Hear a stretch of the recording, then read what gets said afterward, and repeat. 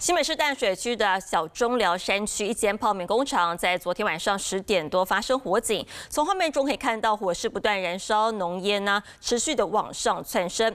这一栋三层楼高的铁皮建筑放了很多化学药剂。从三楼起火之后，火势蔓延很快，在远处就可以看到橘红的火光。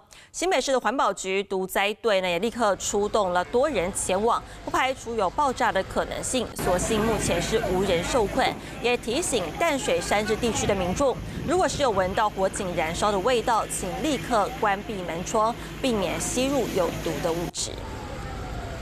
你好，我是宋彦明，想掌握最及时的新闻资讯吗？赶紧订阅、按赞、开启小铃铛，锁定华视新闻 YouTube 频道。